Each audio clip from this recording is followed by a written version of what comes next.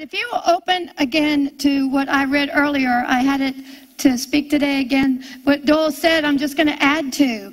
Ephesians 1, I'm going to begin in verse 16.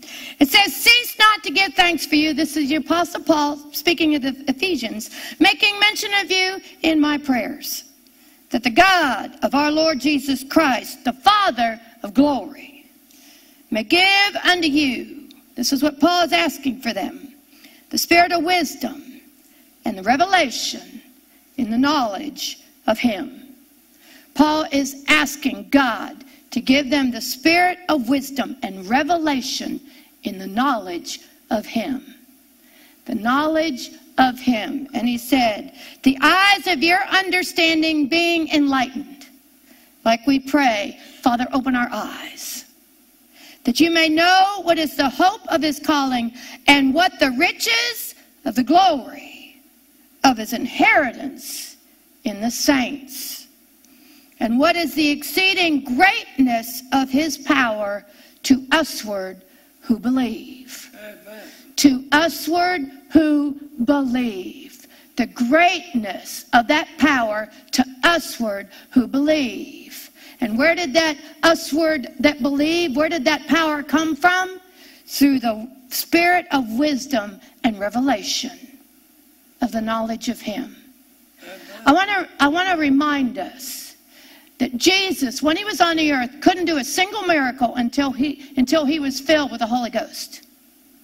He couldn't do a single miracle. The Son of God could not do a single miracle until he was filled with the Holy Ghost. And then he says in John, he was telling his disciples, he said, It is expedient that I go away.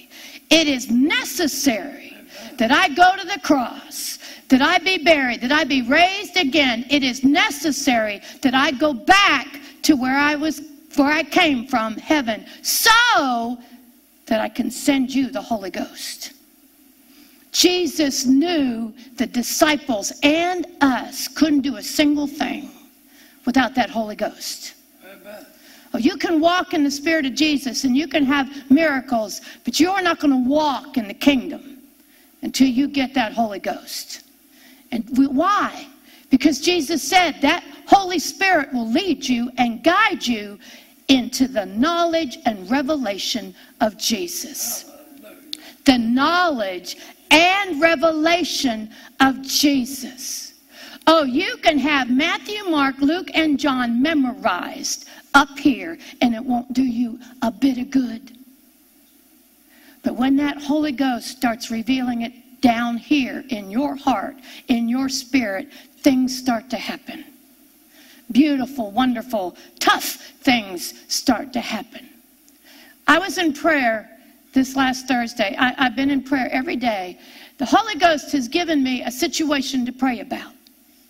And I can see the wisdom of God giving me something that wasn't going to happen in two days. I do. I remember several years ago, Doyle and I were talking, and Doyle said to me, square on, he said, Kathie, you have the faith. What you need is patience. Great. Do you know what? You don't want to pray for patience. Because then things happen. And you're not going to overcome them in two days. But God took that word that Doyle had for me and he started changing me. He started me putting in, me in situations that I was going to need patience to get the answer, to get the promise. What is patience? It just means continuance, not stopping. Not stopping. I was in uh, the situation that I've been praying about. I haven't heard anything. But the Spirit of God is strong in my heart. I love it. I love praying in the Spirit. I love walking in the Spirit. I love when God leads you, shows you revelation, how to take the next step. And I was I was praying Thursday evening. And and I was praying about this situation. It came back up in my heart. I love it because there, there's faith there. And while I was praying about this situation that I hadn't heard anything in a month, but I knew that God gave me this project, this, this deal to pray for. And while I was praying, revelation came. And the Spirit of God said to me, Kathie, don't you take no for an answer. Whoa. In a moment, I knew in the Spirit exactly what he was saying. He said, Kathie, don't you take no for an answer. You know why? Because of Ephesians 1. That God would give unto you the spirit of wisdom and the revelation, the revelation down here of the knowledge of Him. You know what I got down here? I got the gospel. I know down here that Jesus on the cross, surely he has borne my sicknesses and carried my diseases and yours too. Surely he has. You know what? It's not up here, it's down here. I have a revelation of the knowledge of Jesus. Surely he bore our sicknesses, our diseases. Surely he carried our pains, the chastisement of our peace what the necessary punishment to get our peace was put on the body of Jesus. You know what? I know that down here. I know that down here. The peace, the chastisement of the peace of, of us was put on the body of Jesus. And by his stripes, we are, were healed. I know that down here. And God in that instance said, You know that, Kathie. Don't you take no for an answer. If I know that I am free from the devil, then I don't take no for an answer. If I know that my sins have been forgiven and put on the body of Jesus, I don't take no for an answer. Why? Because that's what happened. That is the truth. If, if his, Jesus said, Surely he has carried our sicknesses. And I know that down here, I got that knowledge. Then I don't take no for an answer until I'm healed. It is so fun, folks, to stand up. It is so fun to stand up against God and the devil at the same time and say, It is written. It is written. You have to do this. You have to. I will not take no for an answer. You have to. Why? Because you already supplied everything needed. You, the price has already been paid. The sacrifice has already been given. And that sacrifice of Jesus on the cross, death, and resurrection, that resurrection proves to us that that sacrifice was accepted by God. The only thing left is the promise manifested. I love it. God said, Kathie, talking about himself, don't you take no for an answer. You know what? I got this. I got this. Oh, I was so excited when I heard that. I hadn't heard anything. I got a call on Friday. I got a call. I was walking in the fellowship hall praying about this situation. I get a phone call.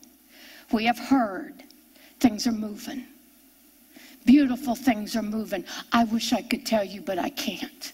But there will be a day I know I'll stand here and tell you the story of how God, the power of my God. I have a word in my tongue. It says, For thy glory, Lord. For thy glory. Not mine, not anybody else's. For thy glory, Lord. Oh, we're going to see it. It is moving. The tide is turned. I love it. I love it. What? Do you have that knowledge down here? Do you know in your heart that Jesus bore your sicknesses and your diseases? Do you know that he bore everybody's? Do you know he bore your mama's? Do you know he bore your father's? Ken, don't you take no for an answer. Amen. Amen. Do you know that down here? Then don't take no for an answer. Turn with me. You said this woman's crazy. Turn with me to 2 Corinthians 1:18. But as God is true, our word towards you was not yea and nay. This is the Apostle Paul speaking about this gospel. For the Son of God, Jesus Christ, who was preached among you by us, even by me and Silvanus and Timotheus, was not yea and nay, but in him was yes.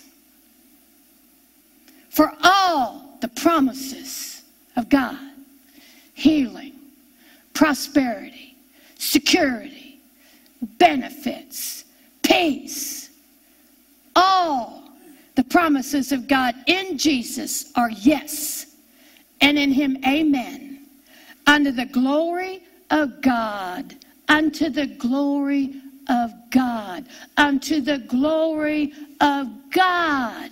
Some of you think I can't let God do this because it would make me look special. Oh, please. For thy glory, Lord. For thy glory, Lord for thy glory, Lord. Whose glory? The Lord's glory. He's the one that paid for it. He's the one that sacrificed himself. He's the one that suffered for it. He's the only one that gets the glory. And if you won't let him have any glory, what is wrong with you? You know, back when I was a teenager, there was a woman. I've got to say this because some of you have heard of her. And she was, she ended up in an accident. She was a quadriplegic.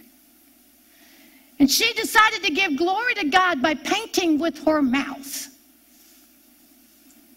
She was offered to be prayed for. You know what? She couldn't give up her glory for the glory of God. She couldn't give up being special by being able to paint with her mouth than to have God get the glory. For thy glory, Lord. For thy glory, Lord. When we use that gospel, when we don't take no for an answer, God gets the glory. Jesus said, Ask anything in my name and I will do it. So the Father gets glory in the Son. Take no for an answer. That's what God told me. Don't take no for an answer. The situation is done. I just have to pray till I see it. And things are moving. Oh, wonderful things are moving. Things that you never believed would move. I can't wait, Jesus, to give you all the glory. Amen? We're going to worship God here for a little bit. Don't take no for an answer.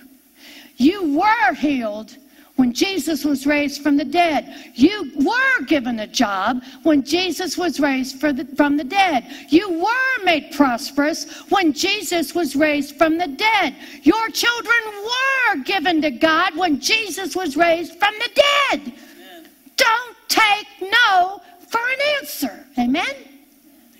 Amen.